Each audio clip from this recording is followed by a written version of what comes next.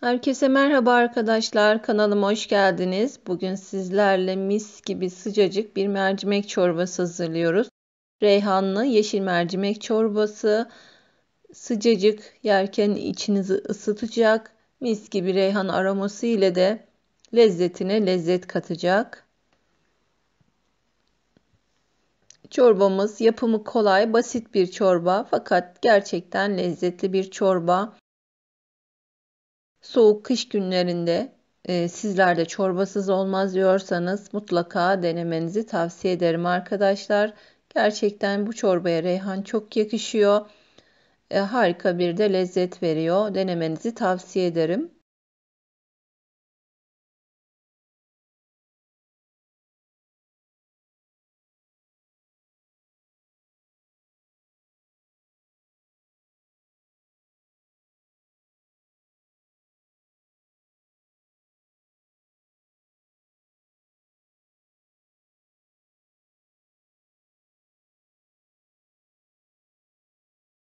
Evet arkadaşlar e, gördüğünüz gibi evde olan malzemeler ile çorbamızı hazırlayacağız.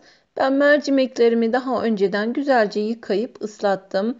E, akşamdan ıslatabilirsiniz veya 2 saat mutlaka ıslı kalması gerekiyor. Tam kıvamında güzelce yumuşacık pişmesi için. Eğer e, ıslatma imkanınız olmadı ise çok az haşlayabilirsiniz. O şekilde ilave edebilirsiniz çorbanıza. Ee, ilk önce arkadaşlar çorbamız için soğanımız var. Soğanımızı çok küçük küçük doğramamız gerekiyor. İçinde e, iri parçalar halinde olmaması gerekiyor. Çünkü çorbaların içinde iri parça olduğunda e, hoş gözükmüyor. Ben onun için e, küçük olmasını tercih ediyorum her zaman. Yeşil biberim var. Onu da aynı şekilde çok küçük küçük ince ince doğruyorum. Yine biberimin de içinde iri olarak gözükmesini istemiyorum. Sadece lezzetini vermesi yeterli.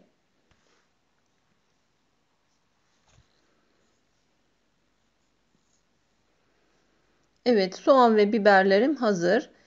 Şimdi tencereme yağımı koyuyorum. Ayçiçek yağı kullanıyorum. Soğanlarımı ilave edip kavurmaya başlayacağım.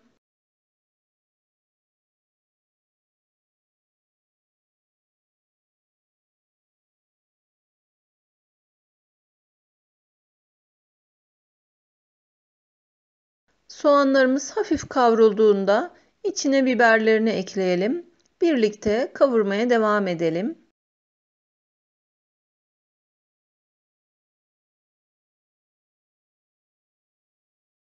Soğan ve biberlerim kavruldu artık. Salçasını ilave ediyorum. Domates ve biber salçası e, kullanabilirsiniz. Ben e, biber salçasını da çok seviyorum. Çorbalarda, yemeklerde karışık kullanıyorum her zaman.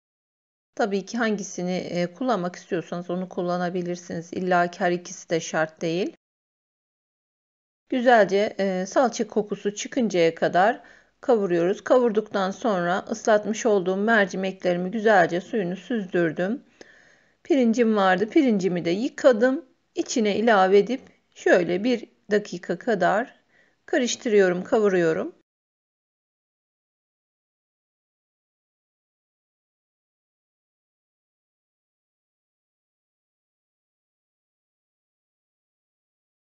Ve suyunu ilave ediyorum.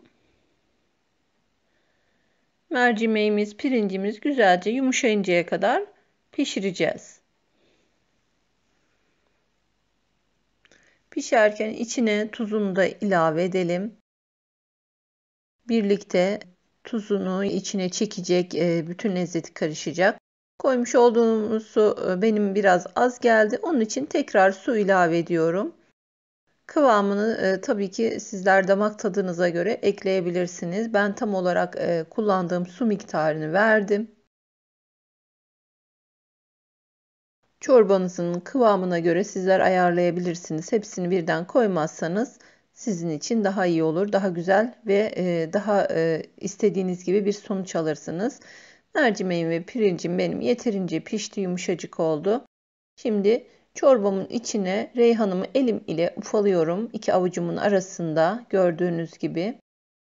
İçine ilave ediyorum. Kısık ateşte kaynıyor şu an. Üzeri içinde Sos tavama tereyağımı koydum arkadaşlar. Onu da eritiyorum.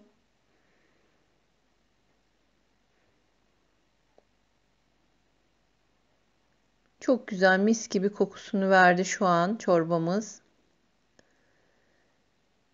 Yağım da eridi. Hemen üzerine tereyağımı da gezdiriyorum bakın. Tavamda kalan yağ parçalarının da ziyan olmaması için bir miktar çorbamdan içine koyup karıştırıp ekliyorum. Ve çorbamız artık hazır arkadaşlar. Mis gibi sıcacık. Reyhanlı yeşil mercimek çorbamız harika oldu. Şimdi çorba kasemi alıp servis yapıyorum.